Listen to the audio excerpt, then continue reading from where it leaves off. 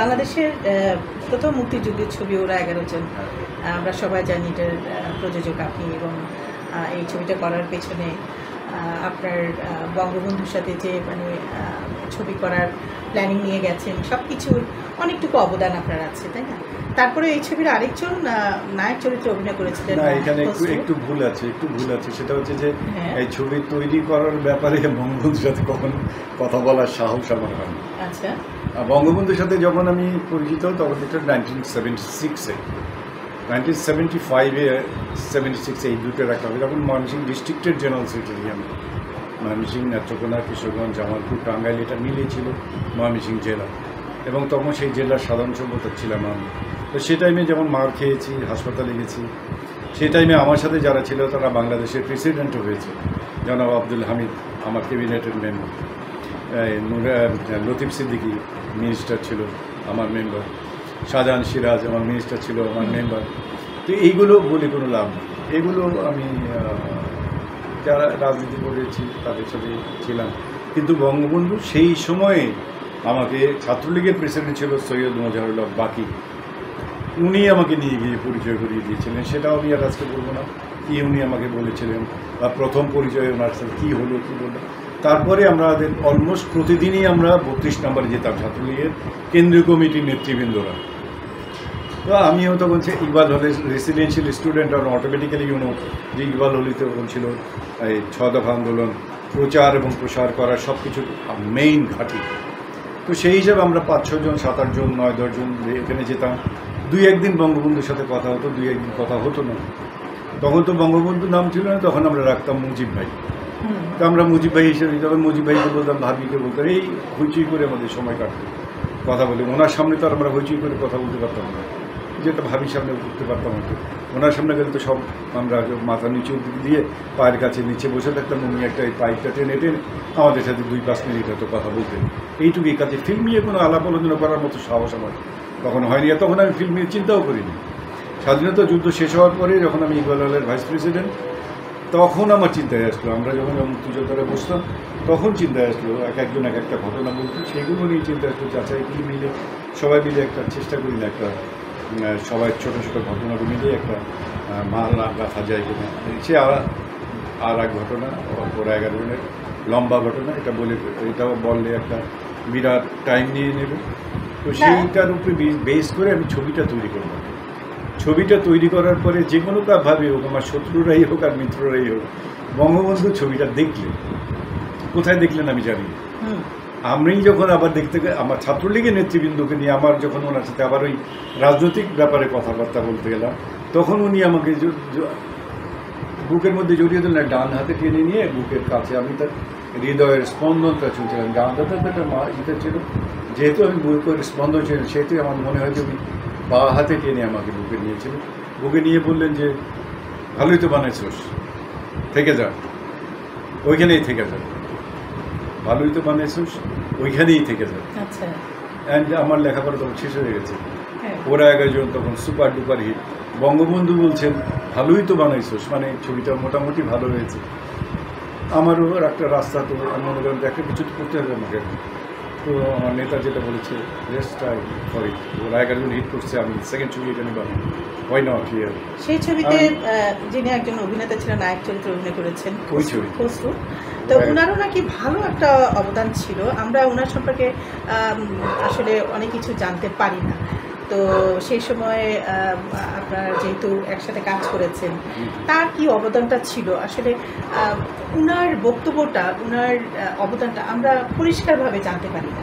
তো সেই সম্পর্কে আপনি যদি আমাদের আমি এই ব্যাপারে খুব বেশি একটা কিছু বলতে চাই না। আমি বলতে চাই না কারণ এটা এতবার বলা হয়েছে চর্বিত চর্বনের মতো মনে হয়। Khasru was hero in that movie he was a very renowned freedom fighter এটা তো সবাই বাংলাদেশ সবাই। স্বীকার করবে। এবং ইকবাল হলে তখন সে পড়াশোনা করতো না। কিন্তু পড়াশোনার সাথে কিছুটা যোগাযোগ ছিল। আচ্ছা। ইকবাল হলে কিন্তু ডেইলি আসতো। খসরু এবং মন্টু এরা দুজন।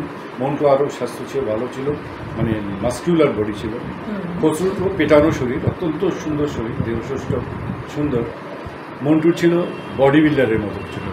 এই দুজন আসতো কিন্তু ইকবাল হল যেহেতু আমাদের মেইন জায়গা ঘাঁটি। তো ওই বড় বড় যারা মারামারি, তারা এইসব যারা করতো আর কি, আমরা যারা করতাম, ওদের মধ্যে আমাদের মধ্যে একটা সক্ষতা আলাদা ধরনের একটা সক্ষতা ছিল। যে কারণে জন্য সব জায়গায় কিন্তু এনএসএফ এর কমিটি ছিল, ইকবাল হলে কিন্তু ছিল না। ওরা কিন্তু অনেকবার এসে ইকবাল হল মেরে আমাদেরকে মেরে, মাথা ফাটিয়ে, দরজা ভান জানলা ভাঙ্গাচুরো করে অনেক কিছু করেছে। আমরা অনেক সময় সহ্য করতাম, অনেক সময় পালিয়ে থাকতাম। কিন্তু তারপরেও তারা কিন্তু ওইখানে কমিটি করতে দেয়নি এই যে আমাদের যে ছাত্রলীগের যে মেইন স্ট্রেংথটা সেই স্ট্রেংথের মধ্যে ইকবাল হলেরও তো অনেকে ছিল। আমাদের এটাও আমাদের সিরাজ ভাই মানে ইঙ্গিতেই আমরা সমস্ত এখানে ময়মনসিং থেকে আমি আসলাম বরিশাল থেকে খসরু ইয়ে আসলো, ফিরু, সৈয়দ কামাল উদ্দিন ফিরু, ছয় ফিট লম্বা ছিল। এনএসএফের অনেকে তাকে প্রচণ্ড ভয় পেত, কারণ ঘুষি মেরে ওই যাকে পাসপাত্তু বলা হতো তখন, তার দাঁত ফেলে দিয়েছিল। মুন্সীগঞ্জে মারামারি করে মুন্সীগঞ্জেও যখন এম এনএসএফ নেমেছিল, মহিউদ্দিন তাদেরকে মেরে মুন্সীগঞ্জে নামতে দেয়নি। আবার মুন্সি ওরা আবার মহিউদ্দিনকে এখানে আসার পরে ওরা আবার মহিউদ্দিনকে এখানে মেরেছিল, প্রচণ্ড রকম মেরেছিল। কিন্তু দেন ওই সিরাজ ভাই বললেন যে, এই সব বড় বড় যারা আছে, নেতা এবং সাথে সাথে কিছু রাগী বা ওই ধরনের, সবগুলো কি ভালো হবে পারা আমরা সবাই সব তখন সব ছাত্ররাই কিন্তু একটা হলের সাথে অ্যাটাচড হতে হতো। আমরা কিন্তু একদম রেসিডেন্সিয়াল আমি ফিরু মহিউদ্দিন বাড়ি আনোয়ার এসবই কিন্তু ইকবাল হলের। আর বাইরে থেকে তখন ওরা থাকতো নিউ মার্কেট ইকবাল হলের একেবারে ডাক দিলি পরে পাওয়া যায়। ডেইলি বিকালবেলা ওরা দুজন আসতো। আর ইয়ে কি বলে? রুচিরা বলে একটা রেস্টুরেন্ট ছিল। সেইখান থেকে আসতো ওইখানে তখন ডা- মানে এক্সারসাইজ করে এখন যেমন সব জায়গায় ক্রিকেট খেলে তখন সব জায়গায় এক্সারসাইজ করার একটা মতো ই ছিল কি নাম বলতো এই মতো ভুলে গেছি।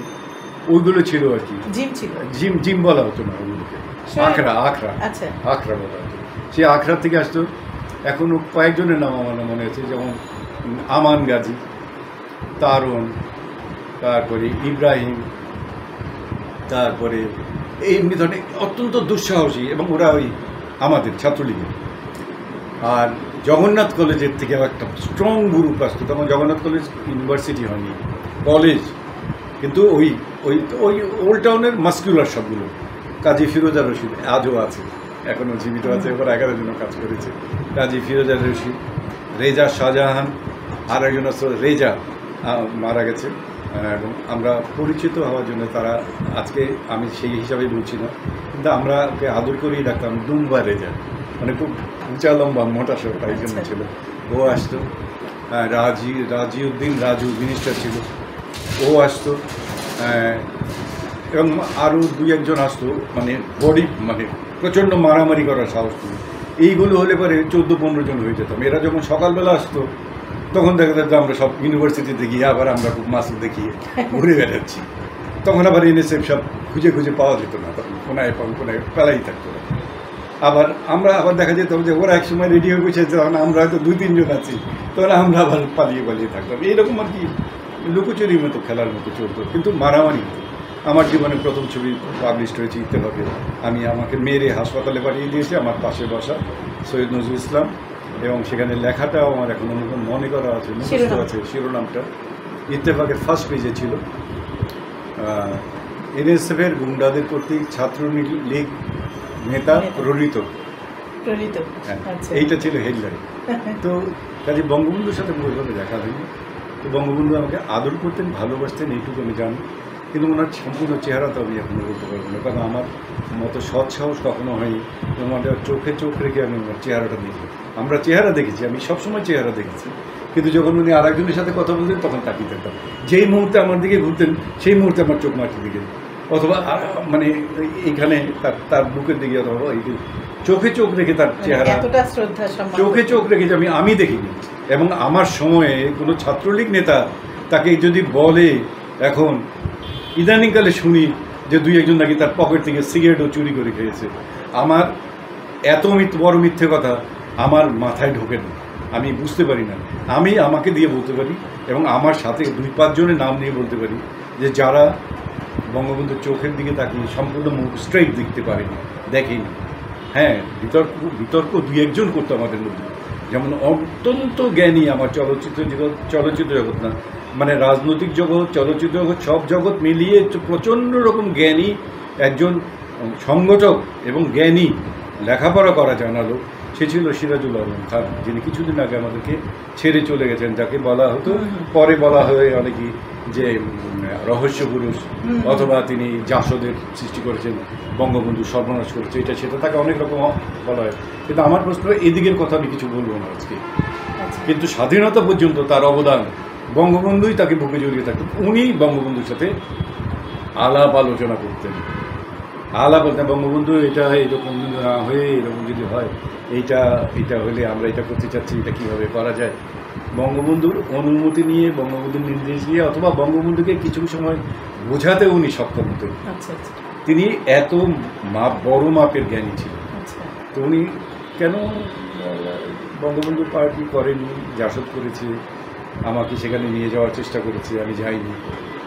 আমি তারপরেও উনি সব উনি জানতেন যে আমি ওনাকে আমার রাজনৈতিক মানে ছাত্র রাজনীতি শিক্ষাগুরু দীক্ষাগুরু যা কিছুই বলো আমি তাকেই মানি এবং আমি আজও তাকে বিশ্বাস করি আমার জীবিত কেউ আমি তার চেয়ে জ্ঞানী মেধাবী কাউকে আজ পর্যন্ত খুঁজে পাই আদর্শ রাজ- রাজনীতির ব্যাপারে আদর্শ বঙ্গবন্ধু হুম কিন্তু আমি কিন্তু বলেছি কথাটা ভিন্ন। আমি বলেছি টোটাল মিলিয়ে এতটা মেধাবী এতটা পড়াশোনা করা এতটা জ্ঞানী এটা আমি কাউকে তিনি আমার আদর্শ। রাজনীতির বা থেকে শুরু করে সব কিছু রাজনৈতিক নেতা হিসেবে বঙ্গবন্ধু আমার আদর্শ আমি বঙ্গবন্ধুকে বুকে ধারণ করি। আর তার পাশে ছোট্ট চেয়ারই হোক বা টুলই হোক সেখানে সিরাজুল আলম করতে ধারণ করি এটা হচ্ছে আমার তার প্রতি সবচেয়ে বড় অনেকে ভুল বোঝে আমাকে কিন্তু সিরাজ ভাই আমাকে তিনিও ভুল বুঝতেন না। আমি জাসদে জয়েন করিনি বিশ বছর পরে আমার বাসায় এসে দেখা করেছি দেখা করছি আমি চিনি না তখন দাঁড়িয়ে হয়ে দাঁড়িয়ে রাখা। আমি তো চিনি না একেই। আমি চিনি না আমাকে বলল যে কেমন আছিস? তুই করে বলছে আমার তো প্রথম চোটে একটা হ্যাঁ। আমি তখন অত্যন্ত নামকরণের ছাত্র মানে এই ফিল্মের হিরো। হ্যাঁ। তখন চোখের দিকে তাকালাম চোখের দিকে তাকিয়ে আমি চিনতে পেরেছি। চোখ তাক আগুনের মতো জ্বলতো জল জল জল জল আচ্ছা। মানে জ্ঞান মেধা প্রজ্ঞা মনে হয় তার চোখ ঠিকরে বেরিয়ে আসতো। হুম। তো আমি বললাম যে সিরাজ ভাই কেমন আছেন? বলে যে অনেকদিন পরে আসলাম একটা কথা বলার ছিল। তোকে আমি একটা কথা বলেছিলাম বিশ বছর আগে। মানে ওই জাসদে যাওয়ার জন্য। আচ্ছা। আমার কথাটা কি ভেবেছিলি কখনো? তাই আমি বললাম যে সিরাজ ভাই একটা কথা আমি সেদিন আমিও বলেছিলাম আপনাকে। যে সিরাজ ভাই আপনাকে আপনি আমাদের মাথার মুকুট আপনি আমাদেরকে ছেড়ে যেয়েন না। আচ্ছা। আপনি তখন ছেড়ে চলে গিয়ে জাসদ করছেন। আমি বঙ্গবন্ধুর আদর্শ দেখে আমি মুজিবাদের থেকে গেছে। তখন সিরাজ ভাই তখন তো আপনি জানেন। তাকিয়ে রইল কিছুক্ষণ কিছুক্ষণ তাকিয়ে রইল। কফি আছে? আমি বললাম আছে। এক কাপ কফি দে। দ্যাট ওয়াজ দ্য লাস্ট আর একটি কথা বলল না। কফি খেলো স্ট্রেট যাওয়ার সময় বলেও গেল না। চলে স্ট্রেট হেঁটে উঠে চলে গেলাম দ্যাট ওয়াজ মাই লাস্ট এবং মারা যাওয়ার চার বছর না পাঁচ বছর আগে আর একজনকে লোক লোক এসে আমাকে বলল যে আমি বহুজনের কাছে জানে তারা। আমি তাকে দেখতে চাই একবার। তখন যখন তাকে গেলাম তখন তাকে তার রহস্য বলা হয়। এত বড় দাঁড়িয়ে থাকেও পিকুলিয়ে দাঁড়িয়ে কোন জায়গায় নিয়ে গেল আমি চিনতেও পারি না আজও চিনতে পারব না। গেলাম দেখলাম কথা বললাম দেখলাম আমার সেই সিরাজ হয়ে যাচ্ছে কথাবার্তায় মেধা মেধা যখন আলাপ আলোচনা শুরু করলাম রাজনীতি করার যখন দেখলাম যে আমি আগেও যেমন তার কাছে শিশু ছিলাম এখন অনেক প্রজ্ঞা সম্পন্ন জ্ঞানী লোকে বলে কিন্তু তার সামনে আমি শিশুই রয়ে গেছি। তো সেইটাই ছিল আমার শেষ দেখা আচ্ছা তারপরে আর আমার সাথে দেখা হয়নি। আপনার জীবনের রাজনৈতিক পার্টটা বিশাল একটা জায়গায় জুড়ে আছে। সেই সাথে চলচ্চিত্র তো আছেই। তো কোনটা বড়? চলচ্চিত্র নাকি রাজনীতিটা? আপনার জীবনে কোনটা বেশি বড় অংশ? উদ্দেশ্য তো একটাই। রাজনীতি করেছি আমি মানুষকে ভালো মঙ্গলের জন্য দেশের মঙ্গলের জন্য দেশের জন্য। আল্লাহ তালা আমাকে সেটা দিয়েছে। আচ্ছা। আমি একটা জাতীয় পতাকা চেয়ে চেয়ে- চেয়েছিলাম পেয়েছি বঙ্গবন্ধুর নির্দেশে। আমি একটা স্বাধীন দেশ চেয়েছিলাম পেয়েছি বঙ্গবন্ধুর নির্দেশে আমি আমার আত্মপরিচয় খুঁজে, খুঁজেছিলাম, আমি আমার বাবা সবাই মিলে হাজার বছর ধরে চেষ্টা করেছিলাম। আমি বাঙালি, আমার পরিচয়, আত্মপরিচয় কি? আমি বাঙালি। আমি পেয়েছি। আমার তো সেখানে তো আর চাওয়ার কিছু নেই। আমার তো আমার তো সমস্ত কিছু চাওয়া তো শেষ হয়ে গেছে। বঙ্গবন্ধুর নির্দেশে আমি সব কিছু করার জন্য আল্লাহ তালা আমাকে পাইয়ে দিয়েছেন। আমি পেয়েছি। ঠিক আছে দ্যাটস অভার আর ফিল্ম ফিল্ম তো হচ্ছে আমার পেশা। সেটাকে আমি ভালোবাসি। আমি আমার জীবনের সব কিছু দিয়ে এবং সেখান থেকে আমি ভালোবাসা পেয়েছি যেটাকে কিনতে পাওয়া যায় না। রাজনীতিতে ভালোবাসা কিনতে পাওয়া যায় না। টাকা দিয়ে কিনে নেয়। বঙ্গবন্ধু এই হাজার হাজার কোটি কোটি টাকা খরচ করে বঙ্গবন্ধু হয়নি। তাই সে এক কথা যা বলতো সারা বাংলাদেশ তাই বলতো। কীভাবে পেয়েছে? মানুষ ভালোবাসে ভালোবাসে। ভালোবাসতো বলে। রাজনীতি হিসাবে চিন্তা করে তো মানুষ তাকে ভালোবাসেনি। কয়জন বুঝতো? হ্যাঁ। ছয় দফার অর্থ কি? কয়জন বুঝেছে, কিন্তু বলেছে যুদ্ধ করতে হবে, দেশ স্বাধীন করতে হবে। চলো, ওইটাই চাই। বাংলাদেশের এইটি পার্সেন্ট মানুষ তো ওই কথার উপরেই যুদ্ধ করেছে। বুঝে কজন যুদ্ধ করেছে যে স্বাধীনতা চাই, আমার আত্মপরিচয় চাই, আত্মভোগ চাই চাই। এগুলি তো বোঝেনি তারা। বঙ্গবন্ধু বলেছে, ভাই না না এর চেয়ে বেশি আর কিছু মতো দরকার নেই। আর আমরা যারা ছাত্ররা ছিলাম, তারা হয়তো বুঝেছি। আমাদেরকে বোঝানোর জন্য সিরাজ ভাই বাকি ভাই, রাজ্জাক ভাই, এরা ছিলেন, এরা বুঝেছেন। বন্ধু হিসাবে তোফায়েল আহমদ ছিল, আমির হোসেন আমু আমু ভাই ছিল আসম আব্দুল আমার নুর আলম সিদ্দিকি আমার বন্ধুরা ছিলাম। আমরা সব একসাথে কলিগ তুই তো গাড়ি সম্পর্ক আমাদের। আর আগেরগুলো কিন্তু সম্পর্কে আমি ভাই বলেছি। হুম। পরেরগুলোকে একটু খেয়াল করলে বোঝা যাবে। পরেরগুলোকে সবগুলো নাম করে। হ্যাঁ তারা আমার ভাই ছিল ভাই বন্ধু ছিল ভাই ভাই বন্ধু। এখনও বন্ধু। তুই তো গাড়ি বলে গালাগালি করি। এখন জীবিতই আছে আমরা চার পাঁচজন শেখ শহীদ জীবিত আছে আসম আব্দুর রব আছে আর আমি আছি। আর ওই টাইমে আমাদের সাথে মেলামেশা করতো। হাসিনা আছে। মানে মাননীয় প্রধানমন্ত্রী আছে মাননীয় প্রধানমন্ত্রী আছেন। আর আর প্রেসিডেন্ট যে ছিল হামিদ এক্স প্রেসিডেন্ট হামিদ জীবিত আছে। আর লতিফ সিদ্দিকি যে ওরা দূরে আছে কিন্তু ঢাকাতে মধ্যে তিন চারজনই জীবিত আছে। আর তো নাই। আর যারা আছে তারা অনেকে আমি একসাথে নাই তো এক একজন এক একটা পার্টিতে চলে গেছে। আমি হতভাগা একা পড়ে যাচ্ছি কোনো পার্টিতে নেই। ঠিক তেমনি চলচ্চিত্রেও আপনার সাথে যারা ছিলেন হ্যাঁ, তারা অনেকেই অনেকেই চলে গেছে। তারা অনেকে নতুন কিছুর সাথে অ্যাডজাস্ট করে নিয়েছে। আমি হতভাগা একাই পড়ে গেছি। আমার কাছে কেউ নেই। আমার কাছে যদিও অবসর যদিও অবসর সময় আপনি পান না সব সময় কোনো না কোনো কাজে ব্যস্ত থাকেন। তারপর যারা না আমার কাজে কোনো একসাথে কাজ কাজ এখন আমার। আমারও অসুস্থতাই হচ্ছে আমার জীবনের সঙ্গে। একসাথে কাজ করেছেন কতগুলো বছর আহ, একসাথে ছবি করেছেন নায়ক নায়িকা অভিনেতা আহ, তো তাদের কথা মনে পড়ে। মনে তো সবসময় পড়বে। মনে তবে মন তো মনের রেকর্ড যেটা সেটা তো সব কিছুকে মনে রাখা যায় না can you remember the all thing class ফাইভে যাদের সাথে পড়ছো বা ক্লাস টেনে যাদের সাথে পড়ছো তাদের মনে আছে হঠাৎ হঠাৎ মনে হয় এরকম এক আধজনের কথা হঠাৎ মনে হয়। কিন্তু কতজন ছিল ক্লাসে ছাত্রী ছিল কতজন- কতজনের মধ্যে হয়তো হাতে গোনা এক আধজনের কথা এক আধ- দিনের ঘটনা মনে। অর্থাৎ মানুষ কিছু সময়কে মনে রাখে কিছু মুহূর্তকে মনে রাখে কিছু বয়সকে মনে রাখে না টাইমকে মনে রাখে।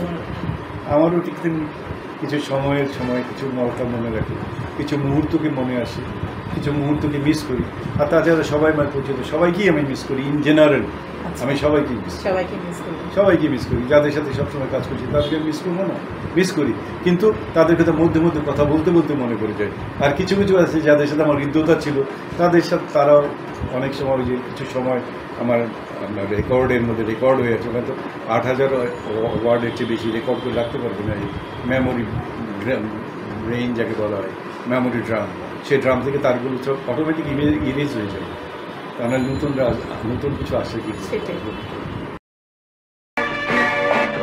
জীবন তুল্য কি তার? আমি সে তো বুঝি না।